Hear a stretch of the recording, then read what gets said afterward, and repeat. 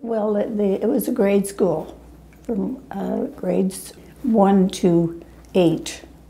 And then they built another room on for high school where it went from eight to 12. Was it just, um, would, would it have been two, two teachers between the two rooms or? Yes. Otherwise, one teacher taught eight grades. Oh, yes.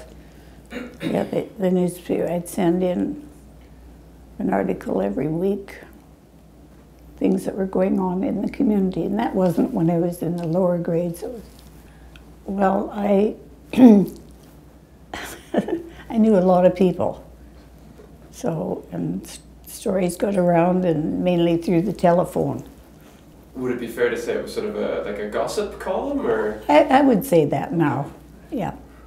The, pa- the local paper was called the Tisdale Recorder. It's still going. Yeah, it's just volunteer.